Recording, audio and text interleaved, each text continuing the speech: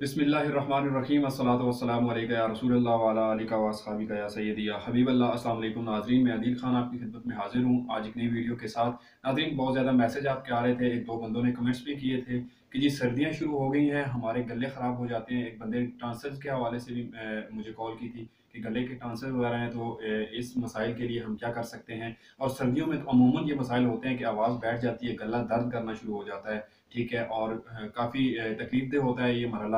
تو اس کے لیے بہت ہی بہترین علاج میں آپ کو بتانے جا رہا ہوں۔ اگر آپ کا گلا خراب ہو چکا ہے تو سب سے آسان یہ ہے کہ آپ صبح اٹھتے ہیں رات کو آپ کے مطلب یا رات کا ٹائم ہے، آپ کا گلا جو ہے وہ درد کر رہا ہے۔ تو سب سے بہترین چیز یہ ہے کہ آپ کیوا بنا لیں جس کے اندر آپ دار چینی اور انگلی جتنی برابر ٹھیک ہے، ایک سے دو ڈنڈیاں جو ہیں وہ دار چینی کی ڈال لیں۔ اس کے اندر آپ ایک سے دو انچ کے ٹکڑے جو ہیں وہ آپ دو سے تین ڈال سکتے ہیں ادرک کے، اور اس کے اندر آپ نے چٹکی بھر ہلدی ڈال دینی ہے۔ کیوا بنا لیں، ٹھیک ہے۔ اور وہ کہوا آپ پئیں انشاءاللہ ایک تو گلا آپ کا جو خراب ہو چکا ہے وہ ٹھیک ہو جائے گا ٹانسل کا مسئلہ ہے تو وہ بھی وہ بھی انشاءاللہ اس سے بہتر ہوگا۔ دوسرے بات یہ ہے کہ آسان طریقہ کار یہ بھی ہے کہ آپ صبح اٹھتے ہیں گلا درد کر رہا ہے تو آپ جو ہے وہ گرم گرم چائے پی لیں تو اس کے لیے یہ بڑا بیسٹ رہے گا کہ جو ہی آپ دو سے تین گھونٹ اس طرح بھریں گے کہ وہ جا کے آپ کے لیگ کے ساتھ ٹچ ہوں تو فوراً سے انشاءاللہ آپ کو راحت کا سکون ملے گا۔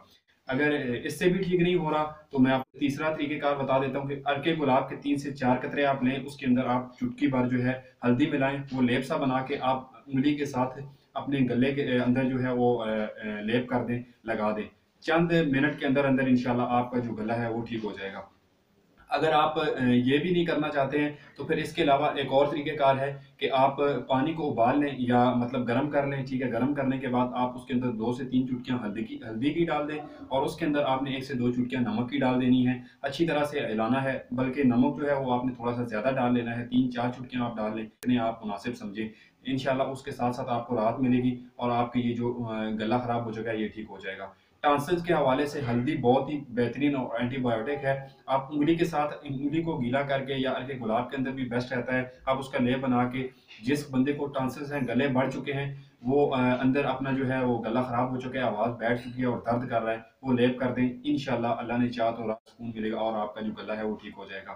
اس کے علاوہ بھی ایک اور حل ہے کہ اگر آپ کا گلا خراب ہے، آپ کہیں بھی باہر ہیں، کسی دکان والی، سبزی والی دکان سے کہیں بھی آپ سونف مل جاتے ہیں، ٹھیک ہے؟ تو آواز بیٹھ چکی ہے، تو سونف کا استعمال کریں۔ انشاءاللہ آپ کا جو گلا درد کر رہا ہے یا آواز بیٹھ چکی ہے، ٹھیک ہو جائے گا۔ نہیں تو آپ ادرک لے لیں صرف ایک انچ کا ٹکڑا، ٹھیک ہے؟ اور ادرک آپ چوستے رہیں ٹافی کی طرح۔